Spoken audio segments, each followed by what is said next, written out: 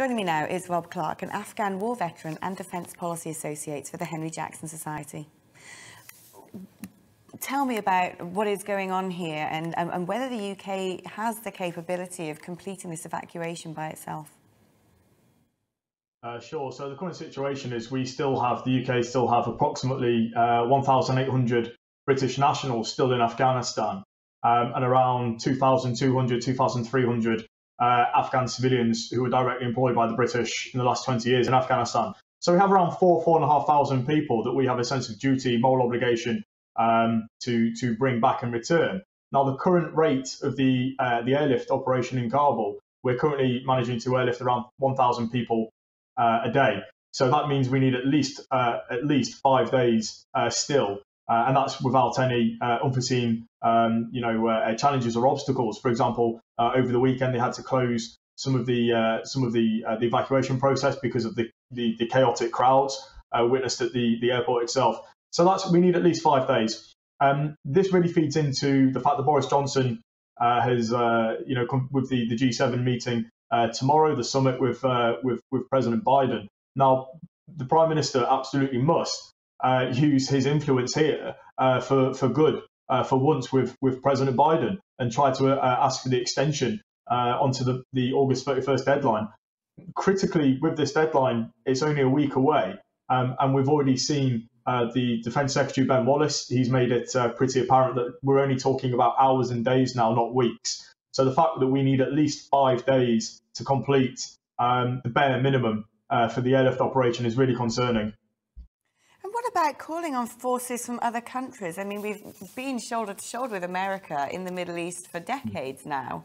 But there is, of course, the, the bigger entity of NATO, of which America is part. Is there any uh, appetite from European nations to go into Afghanistan to at least try and get a handle on the humanitarian crisis? Sure. So look, uh, there's absolutely uh, there's, there's, very little to zero appetite from uh, European uh, partners uh, to to to do more in Afghanistan at the minute from a military uh, defence perspective for, for the airlift, for example, from Kabul.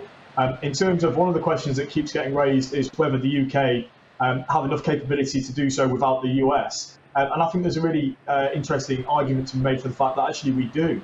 Um, if we consider the fact that the, the UK military, the UK armed forces, um, you know, we are expeditionary by nature. We've got the logistical and support um, framework in Afghanistan to do so. Um, we also, one of the things we, we, we, lack, however, is the, the heavy airlift capability, which even though the RAF are performing absolutely fantastically, um, the, uh, the, the, the, UK airlift um, uh, side of things, uh, you know, th- this would be difficult to sustain without the Americans. However, if we put this into a historical context, only 40 years ago, the UK Armed Forces managed to launch uh, the, the recapture of the Falklands Islands. Now, this was around nine to 10,000 uh, personnel, uh, completely independently of either America or European nations. Um, but we consider the, the, differences in the UK armed forces in the last 40 years. It's been absolutely hollowed out and stripped by successive defence cuts and defence reviews every four or five years to the point where you know we're spending almost, uh, relatively speaking, uh, almost half of what we spent on our defence. Uh, you know, we're around 2, 2.1% of GDP, whilst in the early 1980s, uh, it was around 4%. So there's a wider issue here where if, if the UK expect to be able to act uh, autom- uh, autonomously uh, from, from America and from NATO in a situation like this, which serves our national interests, then we simply must raise defence spending. And this is the case not that I've just been making, but also senior parliamentarians and, uh, and, and, people in, in Westminster as well. So I think there's very little appetite for the Europeans to do more, but there is a case to be made that the UK can continue this. It would just be it would be uh, it would be it would be tricky to sell. But then we consider around 50 to 60 percent of the UK public over the weekend confirmed that uh, in a poll that they don't support the withdrawal of troops from Afghanistan. So that's something the government must take into consideration with any military operation is whether whether the the, the, the public appetite is there. And I think when we've seen the chaotic scenes and the human, humanitarian crisis unfold before us over the last week in Kabul, the public appetite is very much there, and the public support would be there to increase the uh, the military footprint we have in Kabul for a very limited and sustained um, mission, such as the, the continuing evacuation of British nationals and entitled Afghan civilians. I'm glad you mentioned public appetite because is this what is this what's going on in America? Is, is, is there sort of lack of willingness to, to engage mm. in Afghanistan's future again, all boiling down to the idea that the American public are fed up with being an international peacekeeper, essentially, of being involved in these long and very costly conflicts. And, and thus, you know, we've reached a stage perhaps in America where the public don't have sympathy with the country. And yet, quite strikingly, as you were saying, the UK public have almost been talked around now, maybe not everybody, but uh, you know, I, I, think probably a far bigger proportion than ever before of the UK public is being talked around to the idea of a responsibility to, to the people of that country. It's to try and help them protect their loved ones, save their lives.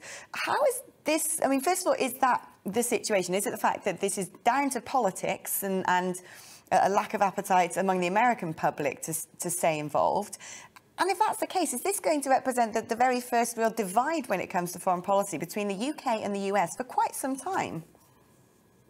No, absolutely. Uh, from the US perspective, it is an ideologically driven, uh, politically convenient narrative to say for President Biden to declare uh, potentially for the midterms next year, you know, I withdrew troops from Afghanistan, I've ended, uh, you know, a forever war. And it's really misleading when we consider the context or the term forever wars. It's obviously been used uh, variously for the wars in, Af- uh, in Iraq and Afghanistan. But if we consider again the historical context, Britain and America have had more troops in Germany, um, you know, 65 years since the end of World War II. So in context, 20 years isn't actually that long. Um, when we consider the, the political reasons for President Biden to do this, they did not, clearly did not, and the intelligence was there, I'm afraid, to uh, um, uh, to, to, to back up the fact that uh, the security situation on the ground just was not uh, matching with the, the, political appetite in Washington D.C. and it's incredibly irresponsible to do so. Um, in terms of the American public, um, again, I think seeing the scenes that uh, we've seen over the last uh, seven to ten days, the, the chaos in, in, in Kabul, um, has really influenced the, the public opinion on this. And it's two things the American people hate. Is one, an incompetent president, which increasingly President Biden looks more and more. Um, and the other thing they hate is to be made um, to, be, to be humiliated and embarrassed on the world stage. This idea of a uh, you know an embarrassing withdrawal, uh, very uh, humiliating. You know, the parallels to Saigon from 1975, for example, couldn't be more stark. So I think the the, the political uh, consciousness in America may soon or, or hopefully should soon reinforce the, the public uh, desire in America, which is absolutely shared by the, the British public uh, here. And that is the fact that this is this is the wrong thing to do. Um, not only is it morally wrong, it's also strategically very incoherent when we consider we're just basically going to be abandoning this country that we've, uh, you know, Britain has sustained 457 fatalities, America around 2,200, um, and you know trillions of dollars uh, over the last 20 years. And we're basically going to hand that over to our uh, global competitors, including China um, and to a lesser degree Pakistan and Iran. So not only is it morally wrong, it's strategically incoherent, and I think that's that's the most damning thing of all. Well, thank you ever so much. That's Rob Clark from the Henry Jackson Society, Defence Fellow and former Afghan veteran himself. Um, true, a lot of lives and a lot of money spent, and for what?